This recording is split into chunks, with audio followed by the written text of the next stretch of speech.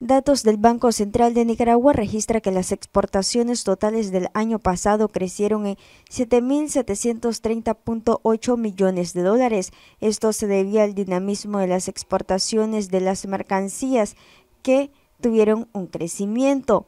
En volumen hay una leve caída de las exportaciones, lo que indica que hay que prepararse mejor para estos años de bonanza en términos de precio, manifestó economista las exportaciones de mercancías normales y las exportaciones de zona franca.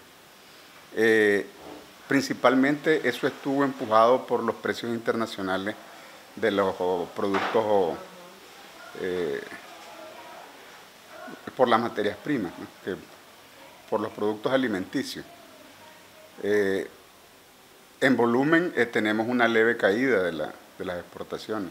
Eso nos indica de que deberíamos de prepararnos mejor para, estas, ah, para estos años de bonanza en términos de precio. Eh, por otro lado, las exportaciones fueron arriba de los 10.000, 10.100, eh, principalmente empujado por la factura petrolera. Las exportaciones de café, por ejemplo, tuvieron un repunte, creo que es récord el nivel de exportaciones que tuvimos, pero como le decía, esto está eh, vinculado principalmente al tema de los precios, más que al tema del volumen.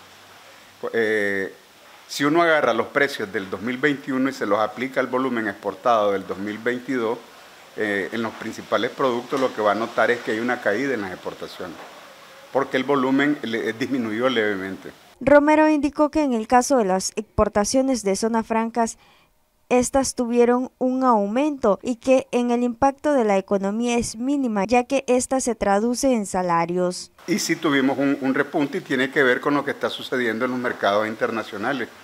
Hay un, o sea, hay eh, señales positivas y señales negativas. En el lado de lo negativo eh, tenemos el problema de las cadenas de valor.